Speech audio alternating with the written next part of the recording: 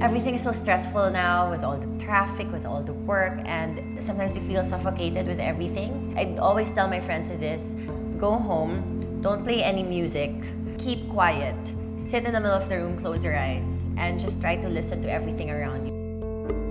Once it hits you, like when you open your eyes, everything's so clear all of a sudden. Everything is just so amazing.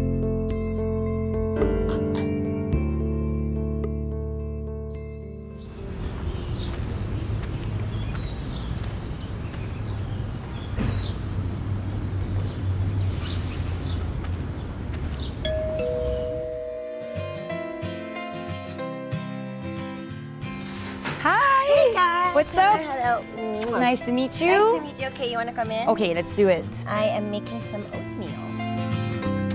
Okay. Yes.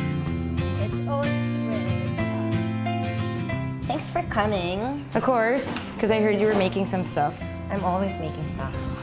Okay, so what's this? What are we doing today? well, I'm making some baon for after the workout. So I'm making my special oatmeal. It's my little secret recipe. I found out that you weren't always, you know, cooking your own food. You weren't always Yeah. this way. How? What, what was your lifestyle before this? I used to be like, um, I'd go to taping and I'd eat fast food. And then as of, yeah, like three years ago, I decided also, so I started to eat healthy na. I started my own research and then I, I enrolled in cooking classes. When I learned how to cook, that's when I saw how much butter and salt and all of these stuff that aren't healthy, how much they put in the food. So from then on, I got more conscious with what I put in my body. So after that, made me feel so much better. Even my skin shows it, my even how I interact with people, even my mood changes because of food. I used to do like fasted cardio, Yeah. intermittent fasting, and especially with my line of work, I teach yoga. I teach like three to five classes a day. And then I train every day. When I don't feed myself, then I feel weak. So it's all about listening to your body also and fueling it right.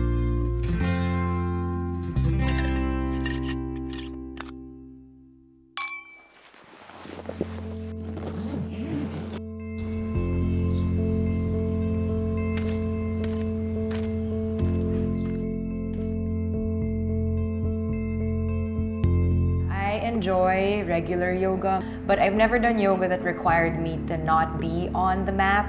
When we got to the studio, it was so calm, like a regular yoga studio, except there were these hammocks, like orange hammocks, hanging from the ceiling. Okay, so let's get you measured up first. Grab the hammock on your push grip. When we stepped on the mat, teacher Mappy explained to us that even beginners will be able to do all the moves. We just had to listen to ourselves, to her, and trust the mat. So walking in it, I was less intimidated and more like, let's get this on. So push the hammock down, bring the hammock a little wider than your hips. Push the hammock down, lift your heels up, lift one knee up, and slide yourself inside of the hammock. Okay. okay. You can do it. I'm Whenever I would suck doing the pose, it was because I was second guessing the move. So when she told us to like lift our legs, I would just kind of lift it up or you know, I'd be afraid to like lie back down.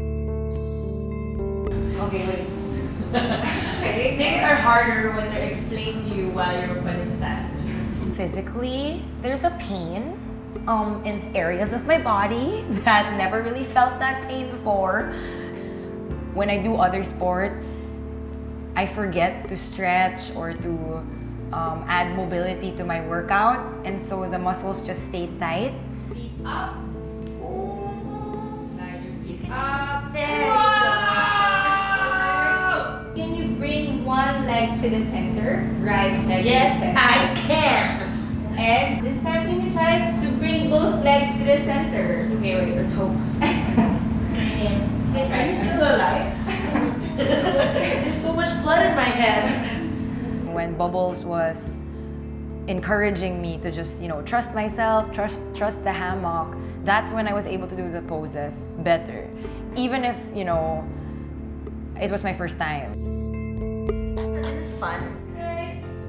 Your practice is your practice. It's different from whoever is beside you on the mat. Because if you keep comparing yourself to others or the progress of other people, then you're gonna be unhappy. I think holistic wellness helped me function better because um, I, I'm more mindful with everything that I do. I became more conscious of of how things affect me or how things would affect other people. And then it taught me how how to let go of resentment. So every time I feel irked over something, I'm just like, okay, nope, you're not gonna have power over me. So you just let go. Oh my gosh. When you want to nail that handstand, how much do you want it? So that's always a question. How much do you want it? Are you willing to struggle for it? So up until you reach your tipping point, then you just keep on pushing. And I think with yoga, it just made me more aware of where I am. Hands down to your hearts. Anti-gravity is not only a workout for the body, but also a workout that focuses the busy mind. So thank you and I hope to see you again. Namaste. Namaste. Anti-gravity yoga and this experience just taught me that if you trust yourself more during a workout, you're just going to be better at it as compared to if you go into it with doubt. I feel like it's such a great time to meet Bubbles today just because she sort of is the kind of energy that reminds you that if you want to start something, just do it. You know, we always have a thousand and one excuses. They'd say, I can't do yoga, I'm not flexible, but that's why you go to yoga. Or I can't do this, I'm not strong, but that's why you do it. Instead of being so negative that I can't be like, I can and I will. So it's all about changing your mindset.